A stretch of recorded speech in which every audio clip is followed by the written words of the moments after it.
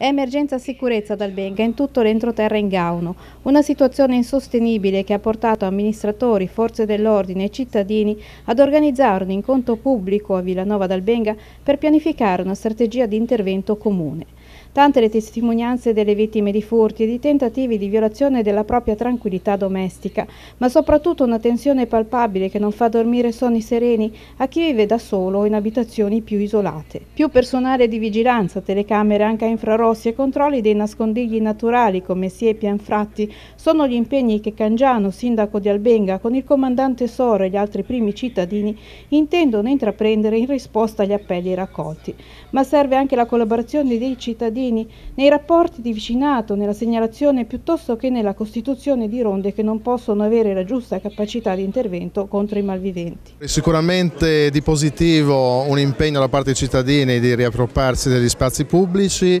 di riscoprire il valore della solidarietà e quindi comunque di fare fronte comune e andare all'origine del, proprio delle comunità no? che sono nate proprio per rispondere al primo dei bisogni che è quello della sicurezza. Dopodiché su questa base eh, sicuramente si aprono anche degli spazi di collaborazione con le nostre amministrazioni, con i nostri comandi,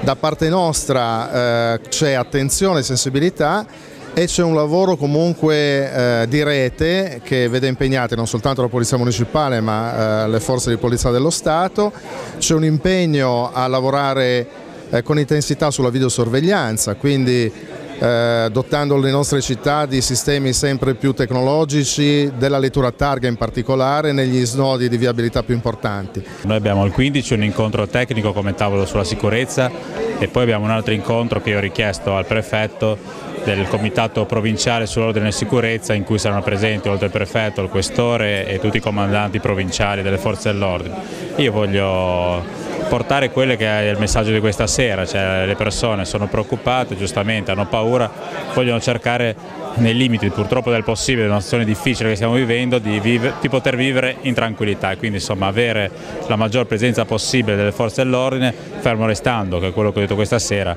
che le forze dell'ordine stanno facendo già al massimo perché veramente l'impegno che stanno mettendo, la competenza che stanno mettendo e anche i risultati, perché bisogna riconoscere che sono anche dei risultati, ci sono già, però noi chiediamo un maggior intervento, una maggior presenza e quindi quello sarà quello che io porterò avanti per il comprensorio eh, come richiesta al prefetto. È nato per aiutare lei, perché una sera mi dice che praticamente gli stavano entrando in casa,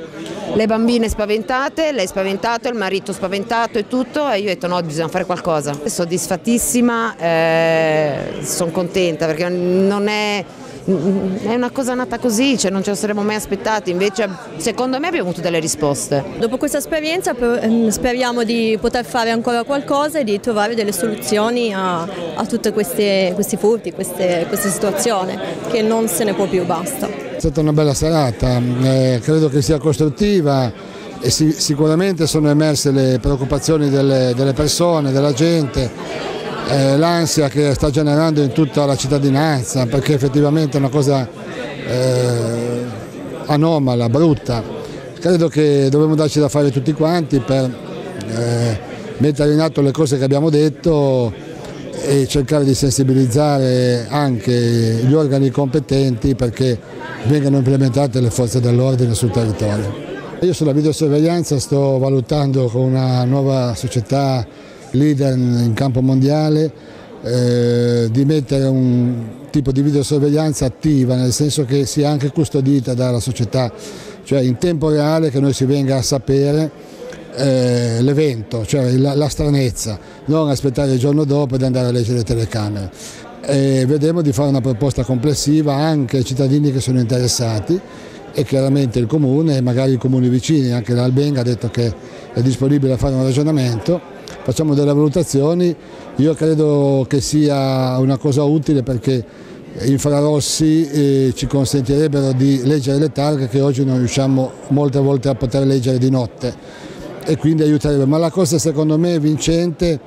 è che c'è un operatore davanti che qualunque eh, elemento di stranezza viene segnalato immediatamente in tempo reale alle forze dell'ordine.